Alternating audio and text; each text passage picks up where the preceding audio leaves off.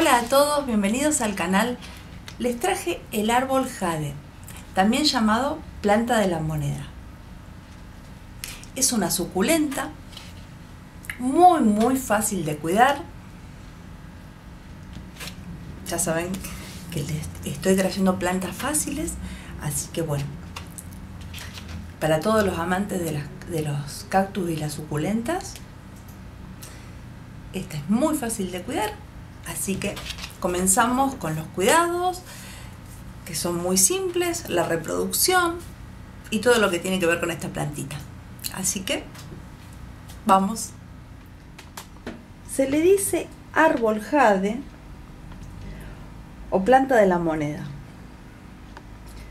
Si ustedes saben otros nombres, ya saben que me los dejan abajo. Es una suculenta, perenne, o sea, ya saben que perenne es que está todo el año de este color. Tiene ramas gruesas, crece como una especie de arbolito. Bueno, en, este caso no se ve, pero generalmente se hace una especie, bueno, acá se ve. Crece como una especie de un tronco principal tiene y después se va haciendo una especie de arbolito.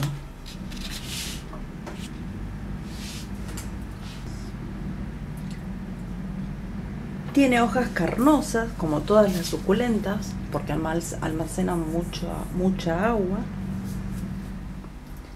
Bueno, como les dije, un crecimiento arbustivo. Tiende a desarrollar un tronco central grueso y por eso parece un arbolito. Puede alcanzar, si está en la tierra, hasta 2 metros. Eso es impresionante, es grandísima. está en la tierra. En, una maceta, bueno, la podemos ir podando porque, bueno, se, crece muchísimo, pero si no la podemos dejar que crezca como queremos, pero le podemos dar una formita redondita, siempre si la vamos, la, la queremos tener redondita. Puede producir flores blancas, rosadas, desde fines del otoño hasta el invierno. Para estimular la floración de esta planta, se tiene que dejar de regar absolutamente nada, nada de riego por completo en el otoño. Ya de por sí las, suculentas no hay que regarlas. Y sobre todo en invierno, en el otoño y en el invierno. Muy poco riego. Vamos a hablar del sustrato de esta planta. antes que nada, tienen que saber que en todas las plantas, todas las plantas tienen que tener un buen drenaje, pero sobre todo estas, que necesitan poca agua, tienen que tener muy, muy buen drenaje.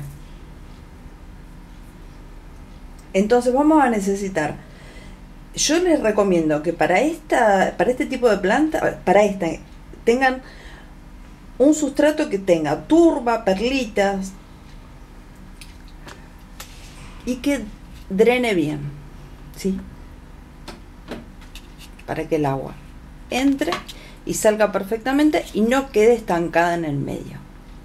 Se encharca esta planta, muere, se van a caer todas las hojas para que drene perfectamente.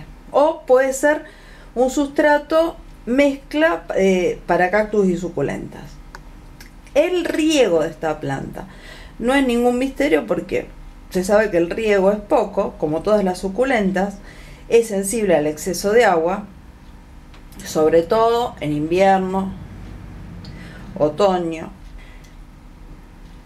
Esta planta necesita exposición solar o media sombra, pero cuidado, porque la exposición directa al sol fuerte, a ese sol de mediodía, el fuertísimo, eh, va a provocar la caída de las hojas y se van a quemar. O sea, ese sol traten de evitarlo. No, no es bueno para nada en esta, en esta planta. Por supuesto que no tolera el frío.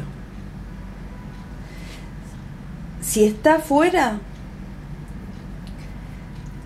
el suelo tiene que estar 100% seco. La fertilización de esta planta.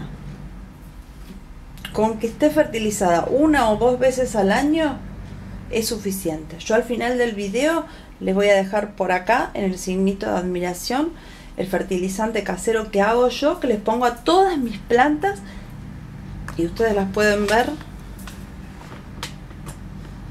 Están, bueno, no se puede ver bien porque el sol, están todas perfectas y el fertilizante lo hago yo.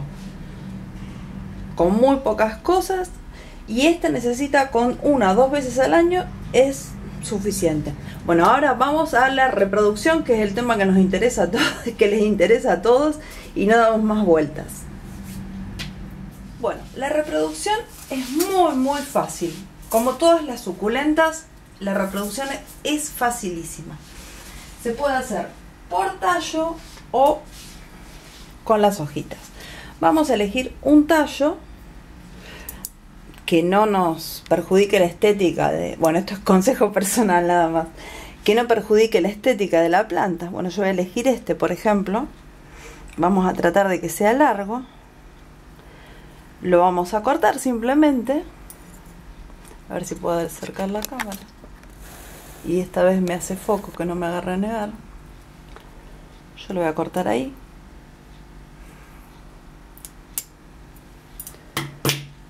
le voy a sacar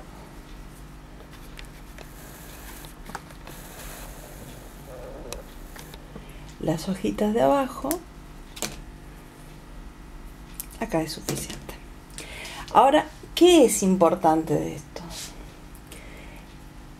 Lo no lo vamos a plantar ahora lo vamos a dejar secar al menos si lo plantamos ahora rápido apenas lo cortamos se va a pudrir.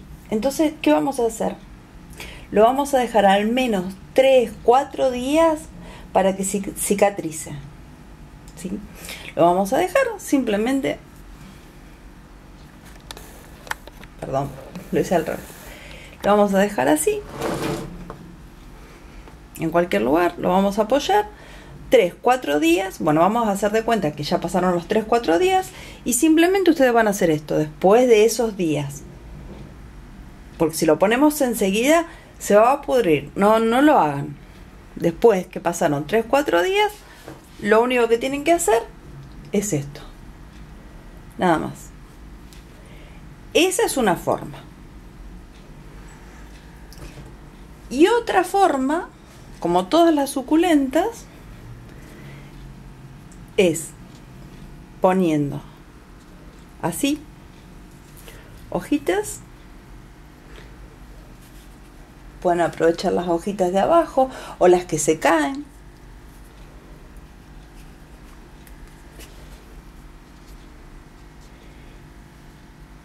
Simplemente así. Y van a empezar a salir desde acá como otras suculentas. Desde acá van a salir raicitas y juelos. Y esa es otra forma de reproducción. Pero a mí, por supuesto, me encanta esta, porque ya tenemos otra plantita. Bueno, y esto es todo, es facilísimo. Pero recuerden que la tienen que dejar secar esta herida. No la pueden plantar rápido. ¿Sí? Al menos 3-4 días. Bueno, y esto es todo.